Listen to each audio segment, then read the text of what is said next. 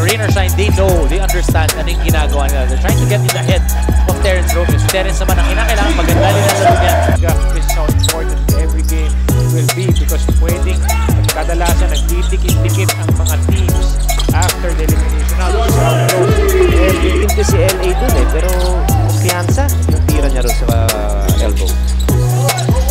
DY Tang, babawi ng pull-up jumper and gets it back.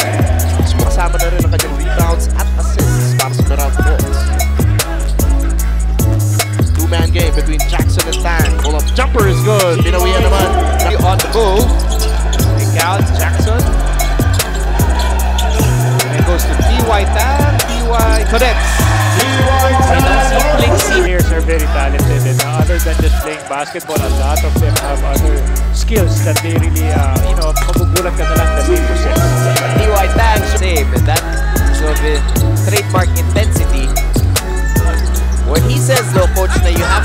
patient against the zone as DY Tang finds the gap underneath. Importante talaga dito after that timeout, uh, you know, after the report of Apple, good things happen to Rain or Shine. To, to uh, Gabe Owen and Thornton does not have his timing.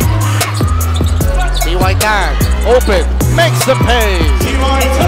Makasalo lang ng bola, hindi ba kaya? Hindi. T-shirt yun, di ba? dalawang isip nga yung coach mo because of your unselfish plays. Di ba? Nakuha ka nung isang PBA fans sa likod natin. Shirt. Almasad snatches the ball away. DY Tang for three. Yes, sir. Extricate himself from the defense. Kaya iigot ulit ang Rain or Shine ng bola.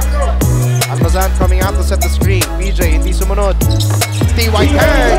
Touchdown. Makibalita rin tayo, mukhang nakinig rin si Riza sa nangyari nung halftime. Charlie, tama nga si Coach Richard, no, galit na galit. Eh, parang literal na bumubula sa galit yung ah, bibig ni Coach Yengiao. Ang sabi Lalo sa mga putbacks, even in the first half. Ano?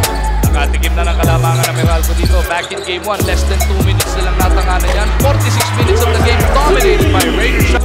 Cunha drops it off. That's Paundo shot. Medyo malakas lang. And Belga gets the rebound. Belga up ahead to Chisholm. Touch pass to T.Y. Tang for the conversion. Started with that guy.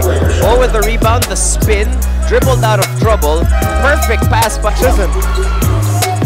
Rain or Shine, another chance. On the break, DY Tang mula sa labas. Puts it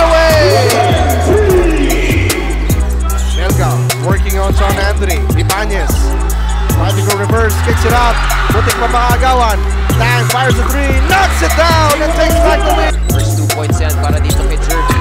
JC, short on the three. TY will chase it down. TY off to the races. Tang with a touchdown. Wow, what, what happened right there? This guy played great recognition para dito kay Ruben. Expect a timeout next dead ball situation dahil oras na para sa mandatory. TY Tang, paboritong tira, pasok yan. Ito sa mintis ni Mark Maroka. TY Tang, bagong pasok. Paboritong tira, kinuha.